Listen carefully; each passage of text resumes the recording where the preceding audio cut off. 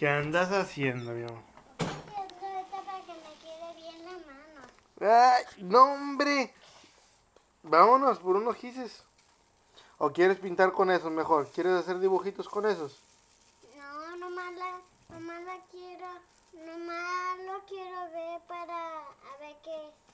Podemos hacer dibujos con esos. ¿En el piso? Sí, te enseño. Ah, no, yo puedo. No, no, espérame, espérame.